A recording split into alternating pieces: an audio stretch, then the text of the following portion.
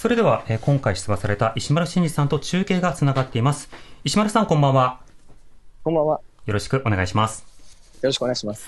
さて、まず石丸さん、今回の都知事選挙、手応えを感じたと先ほど発信もされていましたが、特にどんな点、手応えを感じた選挙だったんでしょうか？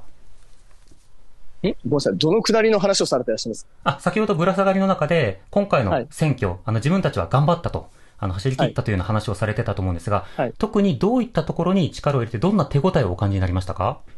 手応えの話じゃないですよ、それ。自分たちができることを全部やったという意味です。はい。で、何かの反応では、反応ではなくて、自分たちの実感の話をしました。はい。では、どんな点に手応えを感じたんでしょうか？手、手応え？手、手応えって言うんですかね、それ。あの、なんだろう。き自分たちでこれをやろうと決めて、それを実施した、実行したという、まあ、それを手応えって言うのかな。でも手応えってもっと反応のことを言うかなっていう気はしますそうですねあのなんか違うニュアンスで聞かれてます？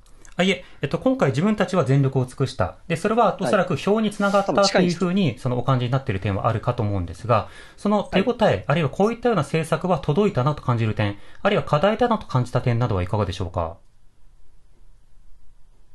うんと、届いたかという意味では、あの、極めて大きいのが知名度の差ですよね。はいどう考えても。はい。その意味で、まあ、それは分かってたので、その不利な状況でできることを全部やってきたっていうところです。で、いかんともしがたいその環境の話なので、その環境の中にいる主体としては、限界があるっていうことだと思います。うーん。それはもうメディアのはい話であって、私から何か言うのも変かなっていう気がしてます。はい。佐哲さんいかがですか？あの、石丸さんの覚悟の論理っていう本ちょっと熟読させていただいたんですけれど、あの、まあ、メンタルが強いですねというふうに言われて、なんでメンタルが強いかって言われたというと、その、相手の問題はどうなっても私は知りませんよと割り切れるというところに書かれていてですね、ちょっとこう、政治をやられる方からすると、この、相手の問題がどうなっても私は知りませんよっていうふうに言われると、ちょっとぎょっとしちゃうなというところも感じたんですけれども、この中まあ選挙戦でいろんな立場の人とお会いしてお話しすることがあったと思いますけれども、このご本に書かれたことっていうのは、特に考えとしては変化はないですかね？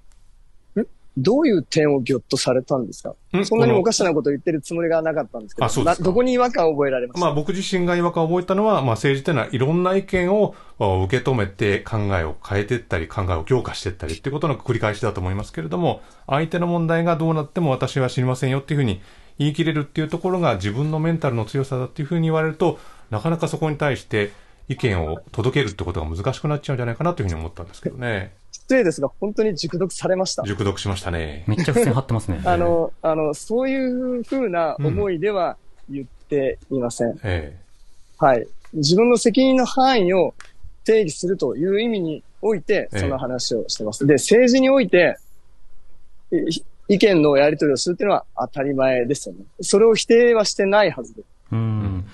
石で丸さん、あの否定してましたか？はい、予定時間の時間になりましたので熟読、あ原始ということなので、えはい。また、あの、お話聞かせてください。ありがとうございました。あ、もう、はい。石丸真二さんは、この後また別のメディアのインタビューが待っているということで、ここまでのお時間ということになりました。